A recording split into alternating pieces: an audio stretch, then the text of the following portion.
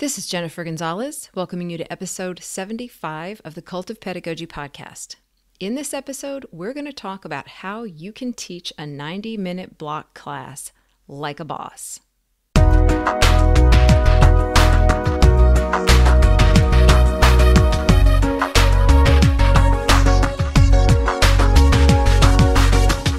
I'm going to read you portions of a letter written to a Charlotte, North Carolina newspaper in 2002 by a first year math teacher, a man who was vehemently opposed to block scheduling. Quote, I am a first year high school math teacher. My school operates on a block schedule, a concept I had never even heard of until I accepted this teaching position. My observations of block scheduling have been a shocking education for me. Block scheduling has resulted in less emphasis on core content and more on gimmickry. Classes used to be places where serious learning took place. No more. Under block scheduling, they have become little more than glorified playtime periods. Classes used to consist of core subject material being communicated to students by individuals rich in knowledge and experience.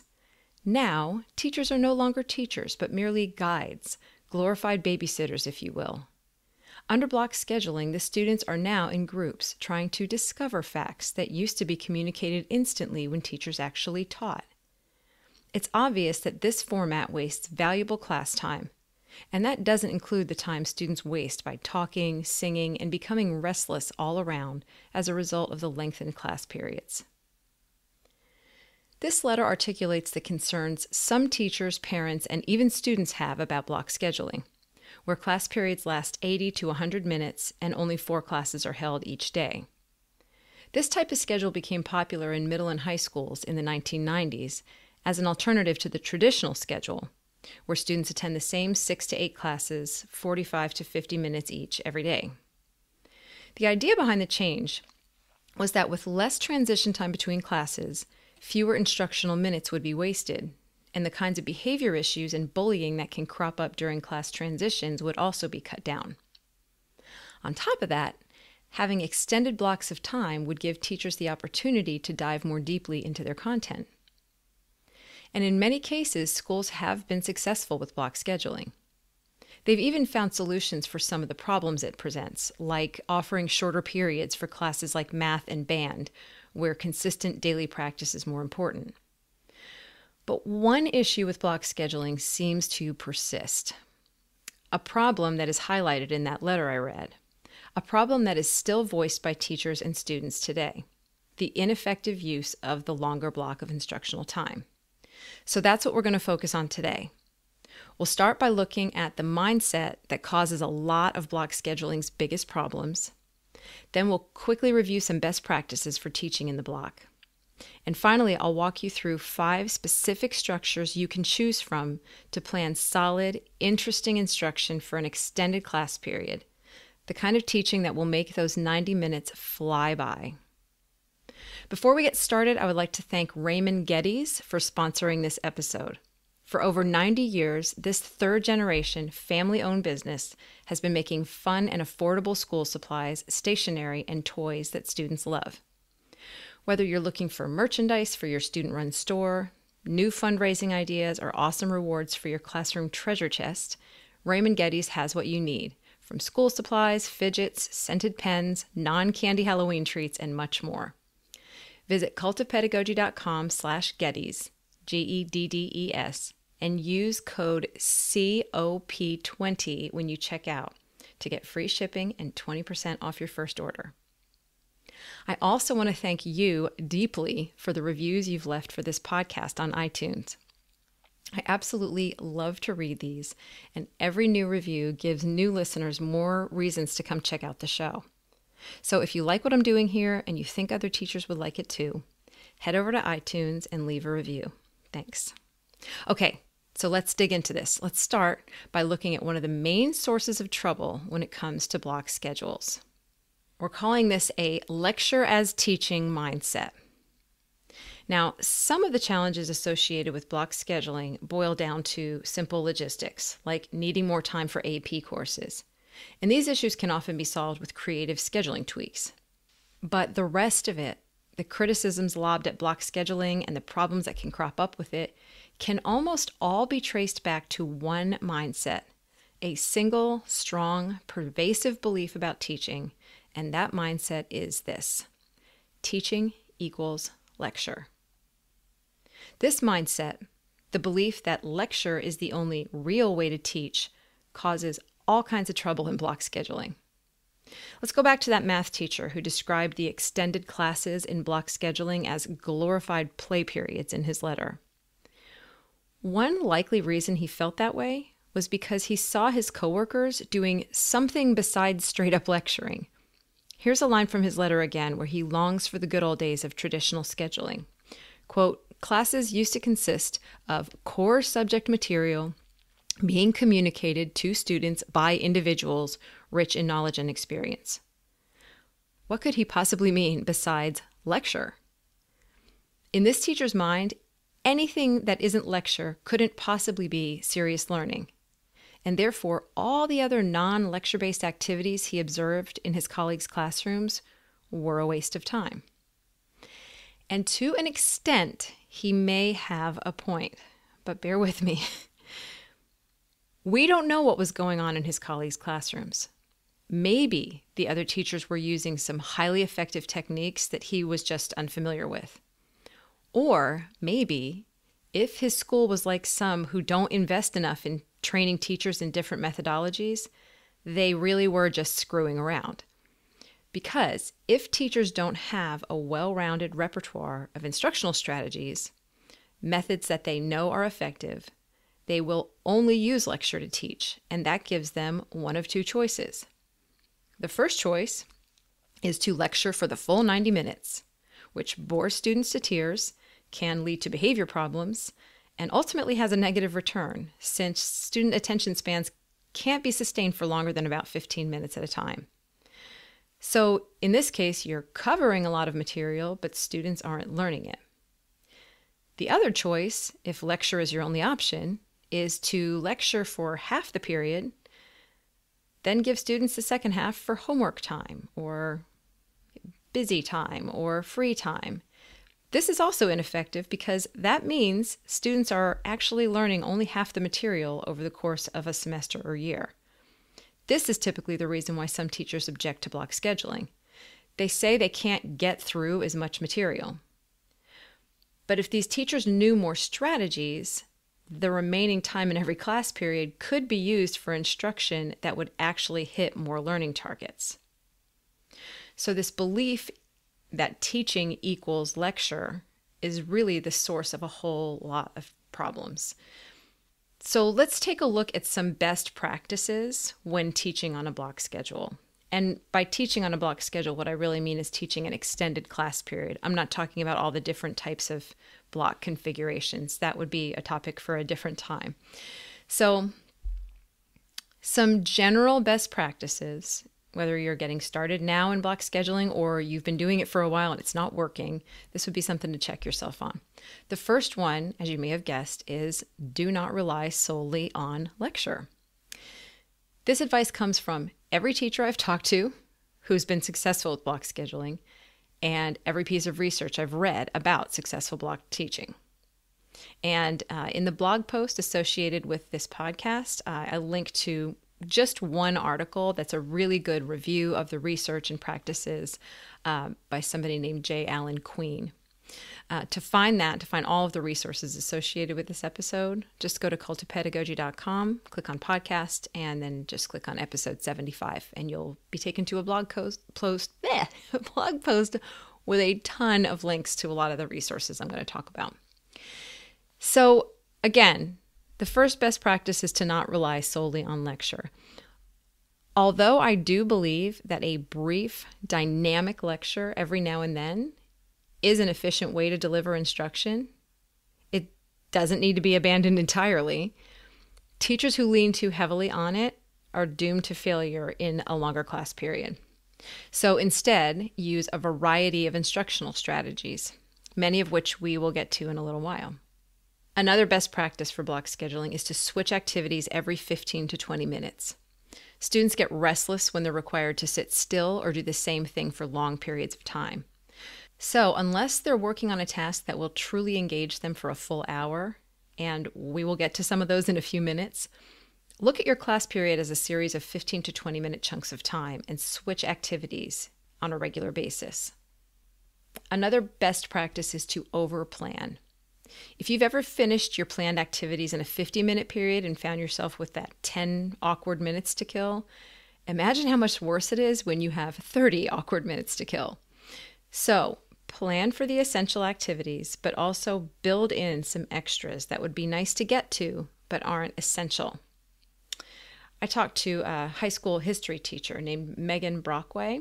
Actually, I don't even know if it's Megan or Megan spelled M E A, but she is in Greencastle, Pennsylvania, and she uh, loves block scheduling. And here is her advice She says, Block scheduling requires planning for more than you can accomplish and then continually readjusting based on student needs. Now, this readjustment may vary from student to student and class to class, and here's what Megan says. If I have a class that is tremendously behind, then it is a matter of looking at the extras and either cutting those out completely to get to the content needed or if it's a class that's up for a challenge, then I give them extended time to complete it on their own.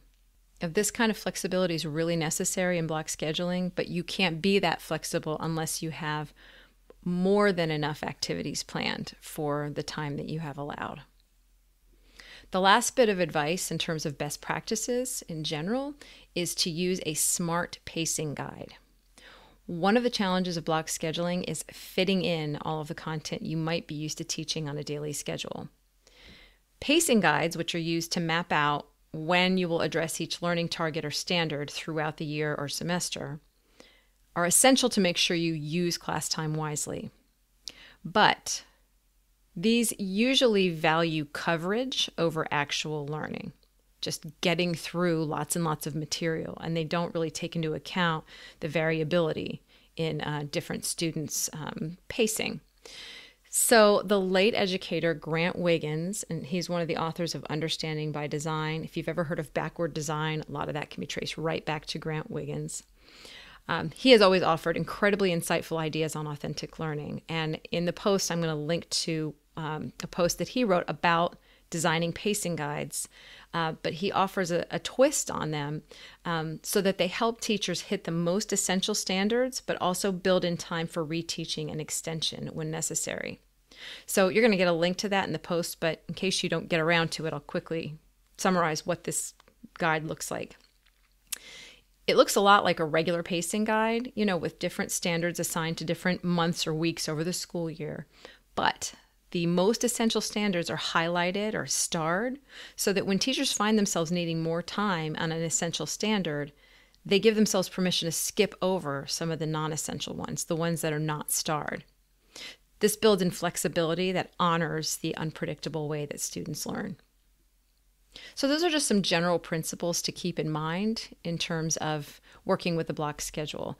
The next thing we're going to look at are five structures for teaching in the block, five different ways you can break up a 90 minute class period so you build in variety and keep students engaged. Before we do that, though, I'm going to take a quick break to tell you about my other sponsor, Kids Discover Online. They are doing some really cool stuff to drive inquiry based learning. Kids Discover Online is a platform that offers a huge library of award winning nonfiction science and social studies materials and units for elementary and middle school learners. Each unit is a full lesson on subjects like the Constitution, ecology, and ancient China. They also have this cool feature called Discover Mode, it's a visual concept map that shows how units like ancient Egypt and simple machines are connected. It's really visual and interactive, and it's just fun to play around with. Kids Discover Online also offers multiple reading levels, an assessment builder, and single sign on with Google and Clever.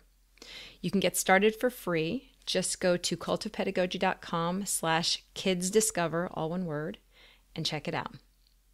Okay, so let's take a look at these five ways to break up a, a, block class period. You can mix and match these structures over the course of a marking period, and I would recommend that. If you if you hear these different structures and say, "Oh, I really like that one," and then you do that same one every time, your students are going to get bored with that one. So I would recommend that you you know, try to use all of these at, at different times. Okay, and uh, when I refer to these two, I'm pretty much always going to refer to things as a 90 minute period, even though I realize some of you teach a 100 minute period, some of you are doing some, you know, 84 minutes or something, but 90 is just an, a nice, easy number to, to use that too. So make your own adjustments, obviously. Okay, the first structure I am calling the classic. This would look the most like a typical lesson, except you would have time to do it right and include all the bells and whistles that we know a good lesson should have. So, the first 10 minutes or so would be an engaging anticipatory set to pique students' interest, build relevance, bring concepts out of long term memory, or just set the stage for learning. This is a step we often skip over when we're pressed for time. For ideas on a good anticipatory set, um, I'm linking in the post to uh, a post I wrote about anticipatory sets, and then another link on how to approach your teaching like a master chef. And this is an interview I did with two math teachers, but the way they look at introducing a lesson is just incredible. Some of the ideas that they come up with. And if you prefer to listen by podcast, uh, I interviewed them. John Stevens and Matt Vaudrey. This is episode 53 How to Approach Your Teaching Like a Master Chef. They just have these incredible ideas for really piquing students' interest at the beginning of a lesson. So that would be the first 10 to 15 minutes of class.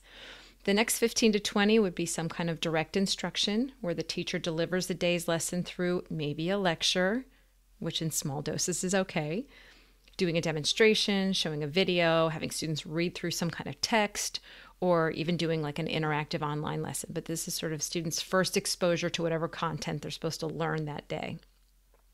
The next 30 minutes or so would be student application of the content. This might take the form of individual practice, um, something called reciprocal learning, which I am linking to a post where I show you how to do that. This is where students um, work together on something, but one student has the answers to the other student's exercises and vice versa. So they sort of coach each other. It's fantastic. Or some other kind of group work. So start with an anticipatory set, do some direct instruction, do student application. Then the next 15 or 20 minutes would be some sort of an assessment of the content or skill. And then maybe that would be followed by a little bit of reteaching to those who need it or an extension activity for students who met the standard. And then finally, the last five to 10 minutes of class would be a reflection or some other kind of wrap up where the value of the lesson is reinforced. And I don't know about you, but I've been told forever that, you know, reflecting at the end of a lesson is really important for students to retain that learning that they just did. And I'm, I also don't know about you, but I almost always ran out of time before I ever got to that. So, again, in block schedule, you have the luxury of really doing all of these pieces correctly. So, Whitney Schultz, who teaches 80 minute blocks of English at a high school in Baltimore, Maryland, uses this kind of structure on most days, mixing up the activities within each of those segments. This is what she says. That 10 to 15 minute review and 10 to 15 minute introduction might instead be a 20 to 30 minute quiz followed by self grading. Or in my AP class, it might be 20 to 30 minutes of daily AP practice followed by 40 to 50 minutes of text discussion and analysis. What she says is, I've found it's easier to fill 80 minutes than to try to trim down what I actually cover each day. So she's really, you know, still doing a pretty traditional lesson, but she's gotten used to that 80 minutes and really filling it with high quality stuff instead of trying to rush it all into a 50 minute class. So that's the classic. That's just taking a really traditional lesson format and really stretching the parts out so that you really are settling into each one and doing them all fully. The next structure of the five, number two, is called the workshop. In this structure, students would spend the majority of time working on their own projects. The class period might start out with a brief, like 10 minute mini lesson, and that could be related to something that students are working on in the projects and it would ideally end with some kind of a wrap up, a sharing, or a reflection time. Again, maybe five to 10 minutes at the end. But at least a full hour in the middle would be spent working independently or in groups on a long term hands on project. Meanwhile, the teacher would circulate, conferencing individually with students as needed, or even using an appointment system like the one used at the Apollo School. Now, the Apollo School, uh, these are this is a set of teachers that I interviewed in episode 62. This is an incredible four-hour block of time that is shared by a language arts, uh, social studies and art teacher, and this is also in Pennsylvania. And they, so you think that you're doing block scheduling, they're doing this huge chunk of time. And the way that they set up conferences is through um, a, an online scheduling system. Students just um, sign up for 15 minute appointments with uh, one of the three teachers if they need to conference on something. So that would be another way to to work out those um, student teacher conferences. So, here are some things that could be done in the workshop structure. In an English language arts class, this could be independent writing or reading or a mixture of both, depending on what each student happens to be working on at the time. If you're running a self paced math class or you're delivering instruction through hyperdocs or playlists, and we've talked about all of these on the podcast too, which I link to in this, you know, in this document, where students work at their own pace through a series of lessons then during the hour, students would just get started from wherever they are in the materials, and then they would just continue working wherever they are. Finally, in any class that has implemented Genius Hour, this time could be devoted to research, writing, or working on presentations for that project. And Genius Hour is something we have also talked about a lot on the podcast. More recently, we've talked about it in episode 55. So we've got the classic, the workshop, the next structure is the lab.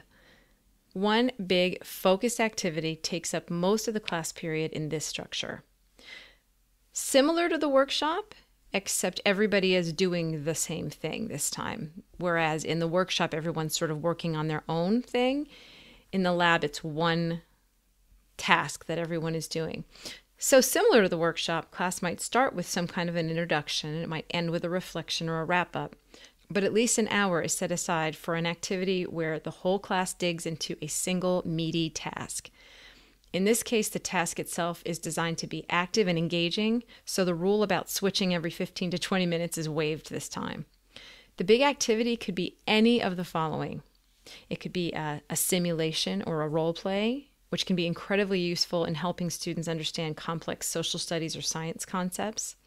It could be a debate a Socratic seminar, or some other long form discussion strategy. It could be a project based learning activity. It could be a virtual field trip, which Skype offers, and they are amazing. And I've put a link to that also in this post.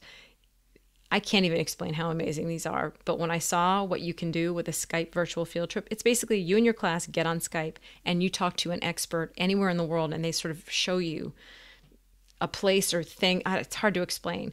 Um, the one the one that they show in the example is the grandson of Jacques Cousteau doing an underwater dive through Skype. So you know your kids can go underwater with Jacques Cousteau's grandson. Um, other activities for the lab format would be yeah, something like a jigsaw or another cooperative learning activity. It could be an actual lab. If you're a science teacher, it could just be a lab. Um, and then the last idea is sketchnoting. This idea comes from Jana Mayuri. And Jana, I apologize if I am butchering your last name. I never asked you how to pronounce it. Jana is a middle school English teacher in Oakland, California, who will occasionally set aside a whole class period for students to create sketch notes on a given topic. And in case you don't know what sketch notes are, they're those really interesting, almost cartoon looking um, almost like a collage with notes and arrows pointing to different sections. And uh, it's a really visual way of taking notes. So here's how she describes it. She says it starts with a 10 minute rapid fire warm up, followed by a kind of, okay, show me everything you know about commercial fish depletion in a sketch note in the next 90 minutes. And then in the next class, we do two concentric circles, and everyone gets two minutes to present their sketch. They point out three vital facts, the most unique or compelling thought, and one artistic accomplishment or challenge. She says the movement and the art are engaging and thought provoking. So I, I thought this was such a neat idea because I think to do really good sketch notes, you would need that extended chunk of time. Um, and in the post, I'm linking to uh, a blog post over on Vicki Davis's Cool Cat Teacher website, which is a really comprehensive post on getting started on sketchnoting, if that sounds like something you'd like to do. Okay, so the three structures we've looked at so far are the classic, the workshop, the lab, and then the next one is the performance. At the end of a learning cycle, students should ideally have some kind of final product to share with peers or even outside visitors. A 90 minute block class would be ideal for sharing and celebrating this student work. This performance could take many forms. They could be student speeches, a student film festival, a gallery of physical or digital products. Uh, this could be, you know, a performance of skits, this could be a reading of poetry or short stories or other uh, kinds of writing that students have done. Really, lots and lots of possibilities. So that's the uh, fourth structure. And then the last one I'm just calling the variety pack. On some days, you might opt to just give students a fast paced mixture of activities. Some that might review previously learned content, some that introduce new stuff, others that do a bit of drill and practice, and even some that are just for fun and enrichment. These could be handled in a station rotation model. They could be done with student selected learning centers, or you could just march the class through a series of small activities together. So, here are just a couple of possible activities you could include in this kind of a variety pack day. You could do any kind of skills practice, flashcard work, retrieval practice, which is a really important concept where students, you know, um, call things into uh, from their long term memory. We talked about that in episode 58 Six Powerful Learning Strategies You Must Share with Students. Uh, you could watch a short video clip, play a short audio clip. Students could do independent reading, they could do journal writing. You could have a short philosophical chairs debate or some other kind of a brief, you know, uh, discussion strategy. You could do a short read aloud from a book that you're reading together as a class. Uh, another activity could involve small group work and some individual work with the teacher. And you could also just incorporate games like you see on Kahoot or quizzes, or even a non tech game that I've taught about called Crumple and Shoot, which I'm providing a link to also. So, whether you're brand new to block scheduling or you've already been doing it for years, I hope you've found at least one new idea here to help you make the most of that extended class period and never again be accused of running a glorified playtime period. For links to all the resources mentioned in this episode, visit cultofpedagogy.com slash pod and click on episode 75. To get weekly updates on all my newest blog posts, podcast episodes, and products, sign up for my mailing list at cultofpedagogy.com slash subscribe. Thanks so much for listening and have a great day.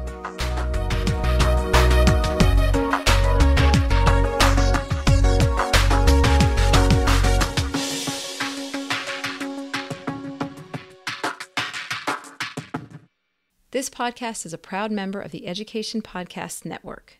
Podcasts for educators, podcasts by educators. To learn more, visit edupodcastnetwork.com.